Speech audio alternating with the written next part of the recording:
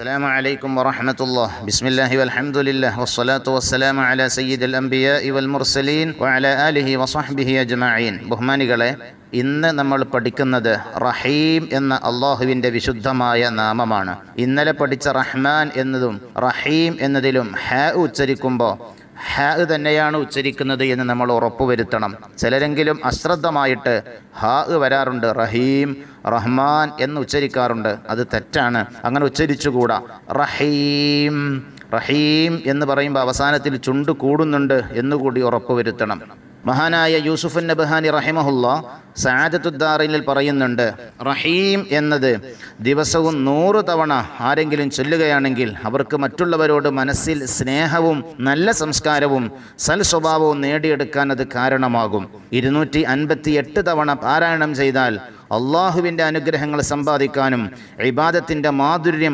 ആസ്വദിക്കാനും അതുവഴി അവർക്ക് സാധിക്കും. അറുപത്തിയാറായിരത്തി അഞ്ഞൂറ്റി അറുപത്തിനാല് തവണ സുന്നത്ത് നോമ്പെടുത്തുകൊണ്ട് ഈ വിശുദ്ധമായ നാമം പാരായണം ചെയ്താൽ അവർ ദുആക്ക് ഇജാബത്ത് ലഭിക്കുന്ന വ്യക്തിത്വങ്ങളായി മാറാൻ അതിലൂടെ സാധിക്കും.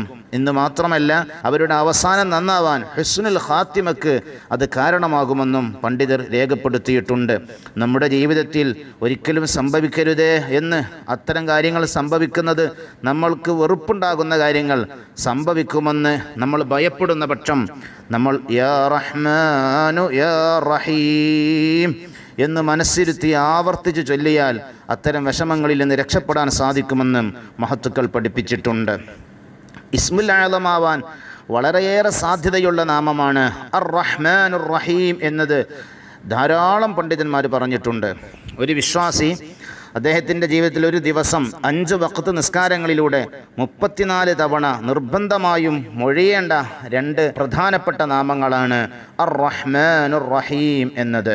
റഹീം എന്നതിന്റെ അർത്ഥം വഴിപ്പെടുന്നവർക്ക് പ്രത്യേകം ഗുണം ചെയ്യുന്നവൻ എന്നാണ്. റഹ്മാൻ എന്നതിന് ശാരീരിക ഗുണം ചെയ്യുന്നവൻ എന്നും റഹീം എന്നതിന് ആത്മീയമായ ഗുണം ചെയ്യുന്നവൻ എന്നും അർത്ഥം പറഞ്ഞ പണ്ഡിതന്മാരുണ്ട്.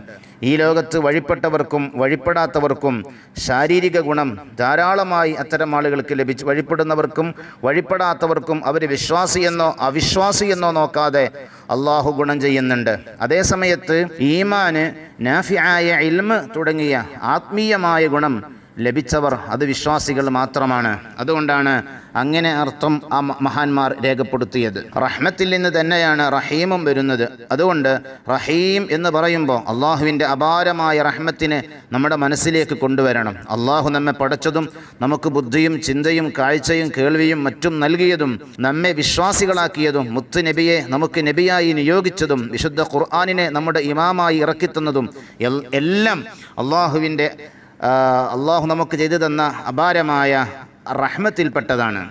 അള്ളാഹുവിന് നൂറ് റഹ്മത്തുണ്ട്. അതിൽ ഒരു റഹ്മത്ത് മാത്രമാണ് ഭൂമിയിലേക്ക് ഇറക്കിയിട്ടുള്ളത്. ബാക്കി തൊണ്ണൂറ്റി ഒമ്പത് റഹ്മത്തുകളും ആഹ്റത്തിലേക്ക് അള്ളാഹു സൂക്ഷിച്ചു വെച്ചിരിക്കുകയാണ്. ദുനിയാവിലെ റഹ്മത്ത് തന്നെ പറഞ്ഞു തീർക്കാൻ പറ്റാത്ത അത്രയും വിശാലമാണെങ്കിൽ ആഹ്റത്തിലെ റഹ്മത്തിന്റെ വ്യാപ്തി എത്ര വലുതായിരിക്കും? അതാണ് നമ്മുടെ റഹീമായ റബ്ബ്.